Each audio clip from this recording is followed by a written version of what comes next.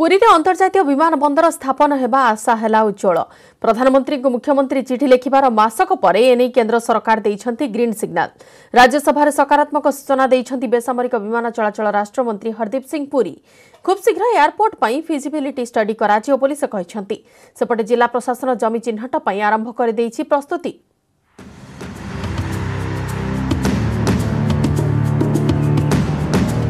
ପୁରୀରେ ପ୍ରସ୍ତାବିତ ବିମାନ ବନ୍ଦର ସ୍ଥାପନକୁ ନେଇ ବଢୁଛି ଆଶା। ରାଜ୍ୟସଭାରେ ବେସାମରିକ ବିମାନ ଚଳାଚଳ ମନ୍ତ୍ରୀଙ୍କ ସଂକେତ। ବିଜେଡି ସାଂସଦଙ୍କ ପ୍ରଶ୍ନର ଉତ୍ତରରେ କେନ୍ଦ୍ରମନ୍ତ୍ରୀ ରଖିଲେ ତଥ୍ୟ। ଖୁବ୍ ଶୀଘ୍ର ବିମାନ ବନ୍ଦର ନେଇ ହେବ ଫିଜିବିଲିଟି ଷ୍ଟଡି ପୁରୀରେ ଅନ୍ତର୍ଜାତୀୟ ବିମାନ ବନ୍ଦର ସ୍ଥାପନ ନେଇ ଉଜ୍ଜଳ ହେବାରେ ଲାଗିଛି ଆଶା। କାରଣ ଏ ବାବଦରେ ବେସାମରିକ ବିମାନ ଚଳାଚଳ ରାଷ୍ଟ୍ରମନ୍ତ୍ରୀ ହରଦୀପ ସିଂ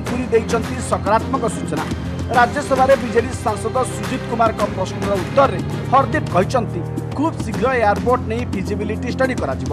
ଗତ ମାସ ବାର ତାରିଖରେ ଏ ବାବଦରେ ଭାରତୀୟ ବିମାନ ବନ୍ଦର ପ୍ରାଧିକରଣ ଏଏଆଇ ଏବଂ ରାଜ୍ୟ ସରକାରଙ୍କ ମଧ୍ୟରେ ଆଲୋଚନା ହୋଇସାରିଛି। ବାର ତାରିଖ ଭର୍ଚୁଆଲ ବୈଠକରେ ପୁରୀ ଜିଲ୍ଲାପାଳ ସମର୍ଥ ବର୍ମା ମଧ୍ୟ ସାମିଲ ହୋଇଥିଲେ। ଜିଲ୍ଲାପାଳ କହିଛନ୍ତି ଏୟାରପୋର୍ଟ ପାଇଁ ଜିଲ୍ଲା ପ୍ରଶାସନ ପକ୍ଷରୁ ଜମି ଚିହ୍ନଟ କରାଯାଇଥିଲେ ମଧ୍ୟ ଏରିଆ ନିର୍ଦ୍ଧାରଣ କରାଯାଇନାହିଁ। ଐତିହ୍ୟ କୀର୍ତ୍ତିରାଜି ଓ ଅଭୟାରଣ୍ୟର ସୁରକ୍ଷାକୁ ଆଖି ଆଗରେ ରଖି জমি নির্ধারণ করাযিব তেবে পর্যটন শিল্পর প্রসার সহ আর্থিক দৃষ্টিকোণর পুরী পাই বিমান বন্দর বেশ উপযোগী সাব্যস্ত হবে বলে জেলাপাল वर्ल्ड हेरीटेज सिटी हिसाब से पुरी को डेभलप करने जो भुवनेश्वर एकाम क्षेत्र को डेभलप करने माननीय मुख्यमंत्री जो उद्यम अच्छी से सब दिग को दृष्टि रखिकी Puri is an ideal location for a greenfield international airport आउ एयरपोर्ट हवा द्वारा से इकोनोमिक आक्टिविट बढ़ स्पिरिचुआल टूरीजम बढ़ ଆଉ ଏଇଟା ସବୁ ଦୃଷ୍ଟିରୁ ଆମର ଯୁକ୍ତି ସମ୍ପନ୍ନ। ଏଟାକୁ ନେଇକରିକି ବହୁତ ପଜିଟିଭ୍ ଏନ୍ଭାଇରନମେଣ୍ଟ ବି ଅଛି ଇକୋନୋମିକ୍ ଅର୍ ଟୁରିଜମ୍ ଆକ୍ଟିଭିଟିଜ୍ ପାଇଁ ଏଇଟା ଗୋଟେ ମାନେ ଫାଉଣ୍ଡେସନ୍ ପ୍ୟାରାଡାଇମ୍ ଚେଞ୍ଜ ହିସାବରେ ମୁଁ ଦେଖୁଛି। ଅର୍ ଯାହା ବି ୟାର ପ୍ରୋଗ୍ରେସ୍ ହେବ ଆମେ ଅତି ଶୀଘ୍ର ଲୋକାଲ ଲେଭେଲରେ ଯାହା ବି ଇସ୍ୟୁଜ୍ ରହୁଛି ଆମେ ତାକୁ କୋର୍ଡିନେଟ୍ ଚାରିଧାମ ଭିତରେ ଶ୍ରେଷ୍ଠ ଧାମ ଶ୍ରୀକ୍ଷେତ୍ର। ଏହି ଧାମକୁ ବିଶ୍ୱସ୍ତରୀୟ ଐତିହ୍ୟ ସହରରେ ପରିଣତ କରିବା ପାଇଁ ରାଜ୍ୟ ସରକାର ବିଭିନ୍ନ ପ୍ରକଳ୍ପ କାର୍ଯ୍ୟକାରୀ କରାଉଛନ୍ତି।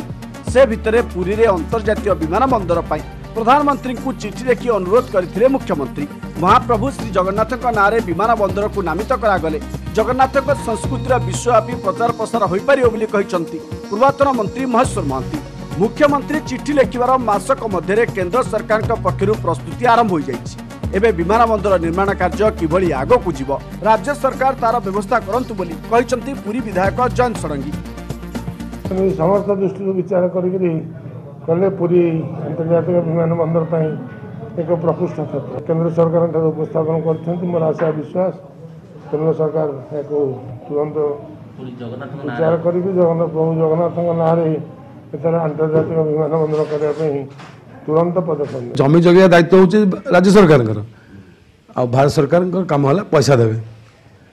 ତେଣୁ ମୁଁ ଭାବୁଛି ଦୁଇ ଜଣଙ୍କର ସହମତିରେ ଏଇ କାମ ସବୁ ବିକାଶକୁ ଆଗକୁ ଆହୁରି ବଢ଼ିବ କାହିଁକିନା ଏଇଟା ଜଗନ୍ନାଥଙ୍କ ରାଜ୍ୟ ଅଛି। ମହାପ୍ରଭୁ ସାଢ଼େ ଚାରି କୋଟି ଓଡ଼ିଆଙ୍କର କଥା ଇଏ ଜଗନ୍ନାଥ ଧାମର ବିକାଶ ହେବ। ପୁରୀ ଅନ୍ତର୍ଜାତୀୟ ବିମାନ ବନ୍ଦର ନେଇ କେନ୍ଦ୍ର ସରକାରଙ୍କ ଗ୍ରୀନ୍ ସିଗ୍ନାଲ ପରେ ଏବେ ଜମି ଚିହ୍ନଟକୁ ନେଇ ପ୍ରସ୍ତୁତି ଆରମ୍ଭ କରିଛନ୍ତି ରାଜ୍ୟ ସରକାର।